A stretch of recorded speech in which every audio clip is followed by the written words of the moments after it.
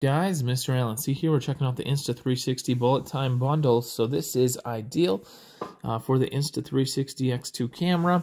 What you're going to get, you're going to get pretty much a long selfie stick here. But this one is special. It's made so when you use it, you cannot see the selfie stick in the 360 video shot by this specific camera right here. So that's amazing. And uh, then we also have an included tripod, which is a must. Smooth, stable, invisible selfie stick fold out tripod. Let's see what's in the box.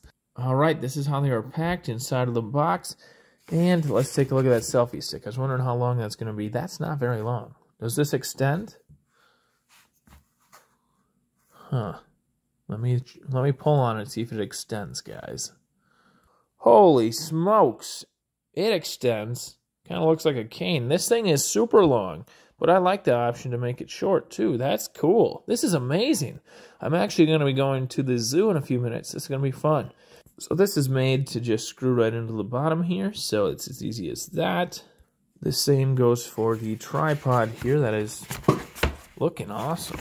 Let's get it out. This is simple. You can bring it with you easily and uh, make good use of it. I'm a big video guy, so I'm so excited. The legs just pop out like so. That's amazing. Of course, we got the top where you can attach the 360 camera, or if you want, you can attach it on the side. They got you covered. Let me see if this thing extends upward at all.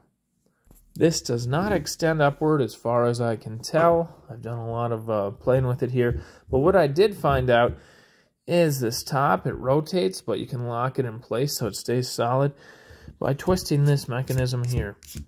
So now I unlocked it, and now I relocked it.